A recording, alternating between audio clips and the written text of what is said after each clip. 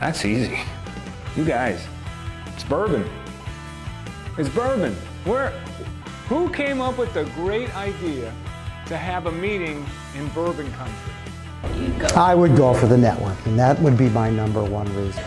I go for the education, the learning, the networking. You can't, you say it, I go for it. It's a wonderful event. It's a homecoming because we see our friends from so many years that, hey, you know, where are you going tonight? Hey, let's do this. Hey, did you see that equipment? Hey, did you hear about this product? And it's just, it's phenomenal. We love it. Landscapes 2016, the single place in North America you can meet every landscaper that's worth meeting. The bourbon's a better answer though.